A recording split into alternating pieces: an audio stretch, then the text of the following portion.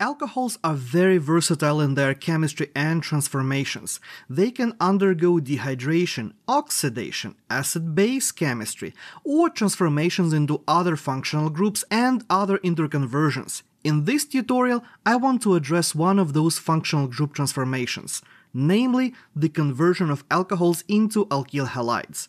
Hey everyone, Victor is here, your guide to all things organic chemistry. And when it comes to conversion of alcohols to alkyl halides, I often hear the same question why do we care about this reaction at all?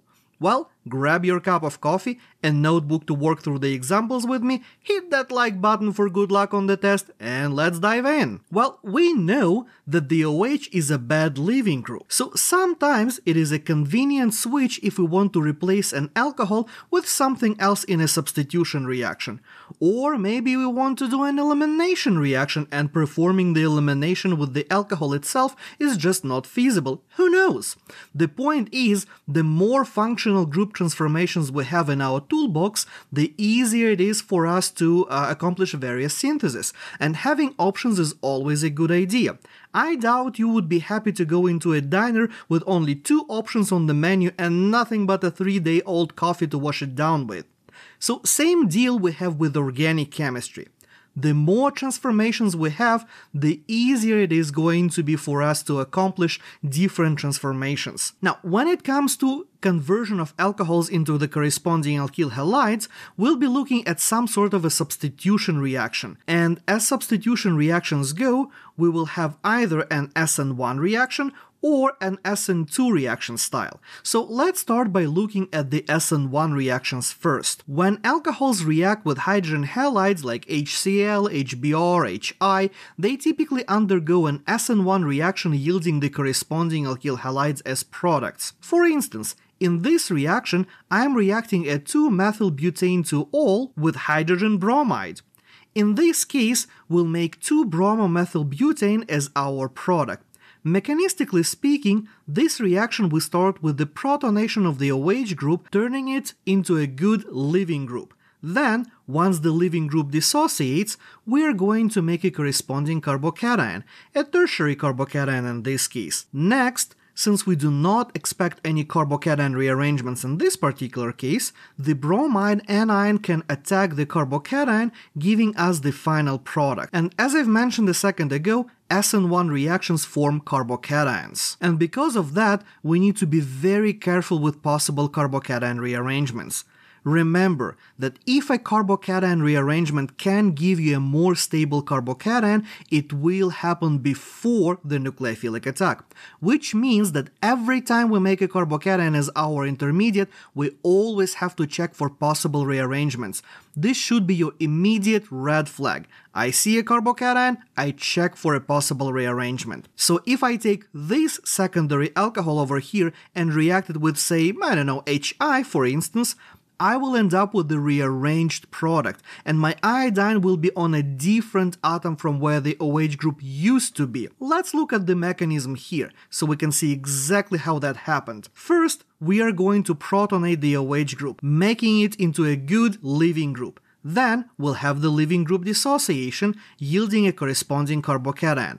Now, this carbocation is secondary, and it's right next to a quaternary carbon. This means that we can perform an alkyl shift and make a more stable carbocation. The methyl shift here makes a new tertiary carbocation. Now, since my carbocation is as stable as it can possibly be in this particular case, I will proceed with the nucleophilic attack and once the iodine attacks the carbocation, we'll end up with a final product like that. I do have a whole tutorial on the carbocations and carbocation rearrangements, so if you do feel like you need a refresher, I'll leave the link in the description below.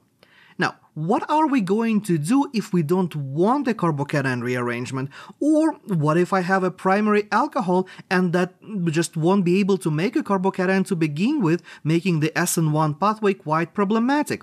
Well, in this case, we're going to use a milder and more controlled SN2 conversion method. There are many different versions of the SN2 style reactions that convert alcohols into corresponding alkyl halides, but despite the variability of methods and different reagents, they all boil down to the same simple strategy. First, we convert the OH into a good leaving group, this is typically done in situ, and then, second, we perform the SN2 attack to get the target halide. In this tutorial, I'll go over one of those reagents, which is probably going to be the most common one that you are going to be seeing in your class, which is the PBr3, phosphorus tribromide, in pyridine as a solvent, but you may also encounter phosphorus trichloride or phosphorus pentahalides like phosphorus pentabromide or pentachloride, or even a thionyl chloride, and many many other reagents. Ultimately, it's up to your instructor and the textbook that you're using in your class which of those reagents you'll cover in your course. The PBr3, however, is a classic,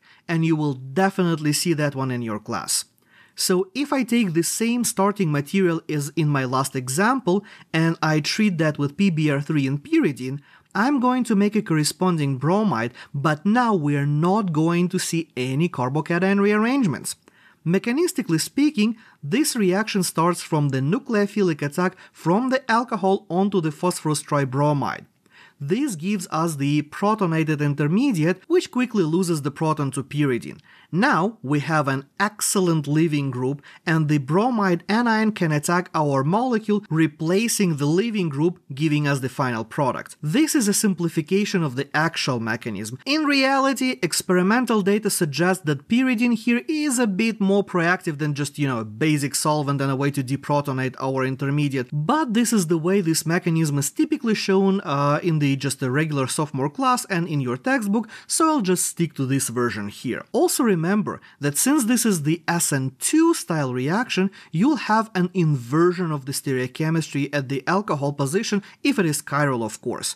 So for instance, if I treat the S-butane 2-ol with PBr3 and pyridine, I will get the R 2-bromobutane, write down the mechanism for this reaction and make sure you understand how this happened and where exactly we saw the inversion of the stereoconfiguration. Now, why do we care so much about the stereochemistry? Well, if you're planning your synthesis and you need to have a specific stereochemistry of the final product, then knowing whether the reaction is going to retain the configuration, or invert the configuration, or maybe even scramble it making it a racemic mixture will be extremely important to you.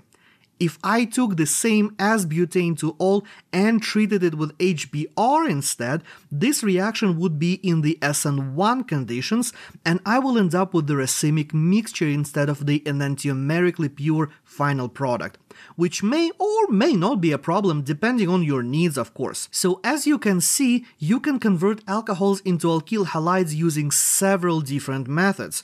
And if you don't care about the stereochemistry uh, or the carbocation rearrangements are not an issue, then feel free to use the SN1 methods. If you need more control over your reactions and stereochemistry is important to you, then the SN2 method is what you need.